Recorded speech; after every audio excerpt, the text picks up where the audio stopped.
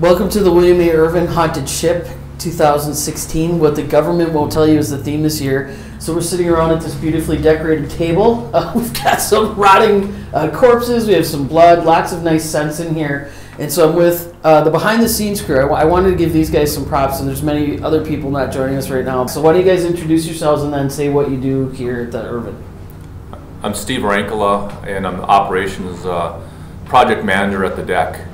And uh, the Irvin is part of my job, and the haunted ship is, is a part of my job, and something we enjoy creating every year. Absolutely.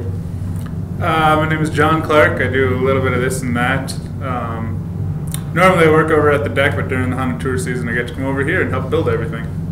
And that's quite the job because I know, John, we've talked to you before in the past. And when do you guys start planning for the ships? Yeah, a couple weeks after it's done. A couple weeks out, so like in November, Yeah. you guys start planning. So you guys just all kind of sit down, go over what worked, what didn't work, and uh, do you go on like websites of like other haunted houses to like get ideas and themes? I mean, how do you get? You guys always have really cool themes every year. I, I think a big part of what we do here is it's competition to ourselves. We get together. Uh, John's very creative on ideas and things, and some of it we research. Some of it's haunts we've been to before. We actually toured the Midwest Haunting Convention. John and I both have been there and gone through different haunts and got ideas. And some of us we search on the internet. We get very creative and maybe dysfunctional when we when we create part of the haunt. and it's, it's become a year round a year year round we do it. We sit down even as the haunt is open right now, we get we get together and we say, "How did you hear that?" I did hear that, and mm. we're the only people on the ship. So And as everyone says, the the William A. Irvin is haunted. There's things that walk around. There's noises.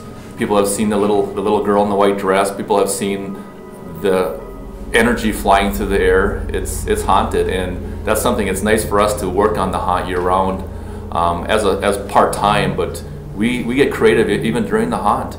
We thought we talk about what what's working, what's not working, what can we do next year. So we're we basically do it year round. Where do you guys get all the stuff? I mean, obviously, a ship of this size and magnitude, lots of different rooms, lots of little nooks and crannies, and I mean, I'm here every year, and you, it's completely different every year. I mean, obviously, you recycle some of the props, but where where do you get some of this ghoulish stuff? Our main, our main, the main place we go to is uh, Fright Props. They're actually based out of the cities, and we've met with them a couple times. They're actually all of our animatronics, the controllers for them, come from Fright Props, and they are stupid simple to use. A lot of the bodies we get from them. There's a few other companies that I you go Google it. There's places that sell it. It- It's amazing how over the years how many things we've accumulated. We actually uh, went down and purchased a haunt in Chicago. We found we found this haunt that went out of business, and they had truckloads of different things. We got we had the choice of going down and picking body parts, picking picking uh, walls and, and pneumatics and things like that. So some of we picked up from there. Some we will buy from a thrift shop. Some of we buy from the internet, um, Fright Props, other different companies, and it's weird buying you're buying body parts and and uh, very weird things. And hoping you don't get pulled over coming back to Duluth with a trunk full of feet or whatever you guys got.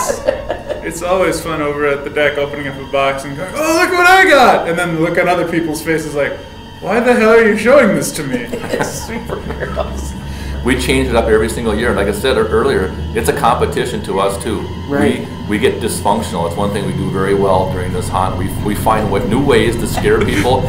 We get very creative. We get we get into a room with just a, a handful of people and we we start we start planning. We put it on paper. Yeah. We change it ten times. We decide what's going to be in the room, what it's going to look like, how we're going to scare people, how many actors will be in the room, you know. Right, and then we, right. we might just tweak it from here to here. We'll build the room and kind of change it, tweak it, figure out is it working? Right. Is that dark room working? Is it two actors? Is it perfect? We also incorporate everything from from all senses, from the lights to the sounds to the smell. As you're sitting in this room right now, you you know we have dead, decaying smell in this room. It's Try not to think about it, but I have that door open because I'd probably probably not feel as comfortable. And But uh, this year we're starting to push more and more and more of the touch sense, where there's things everywhere that you have to walk through, right. and people do not like being touched. But let's talk about some of the the supernatural things that you guys really don't have any control over and are just kind of part of the ship? What's some things that have happened to you guys? As, you know, we're on here all the time and we'll walk through the boat. We may be by ourselves and we know we're on the boat by ourselves. And all of a sudden, you're, we'll be down in the engine room checking things out, making sure things are, are, are secure. And all of a sudden, you'll hear the footsteps. You'll hear the doors opening and closing. I've actually personally have walked down this hallway and got a flash of, and everyone says you're, you're scared of the little the girl in the little white dress. Yeah. I, I visually I saw the girl in the little white dress, and it happened a glimpse of just a half a second. I saw her. I backed up, looked, and walked down the hallway. I thought, what is that? Is is John playing a joke on me? Right. And no, it's I, I saw her, and all of a sudden you hear these footsteps. I'll come on here in the middle of the winter time, making sure things are secure, and I'll hear things, doors closing. I'll run outside, thinking that someone's outside. There's no foot foot tracks in the snow. There's nothing. There's the boat is haunted. It's truly haunted. There's there's there's a lot of energy on here. Wow. and that's one of those things coming on here in the middle of winter. You know you're the only person on because you had to chip that door open. Like we get a good layer of ice in front of that thing, and you're up there for a while trying to get in. Right. You get on, and some days it's just fine. You can be walking around, no problem. Some days it's just, nope, I'm not wanted. I'm leaving now. Actually, when we first started here, um, we thought we uh, one of our guys just down the way a little bit Sadi saw Steve walk past, and everything else is locked back here. I mean, there's only the door we came in, so we Yeah. split up looking for the person. No one to be found. There's a ghost in here that looks like you. That's great. Thanks.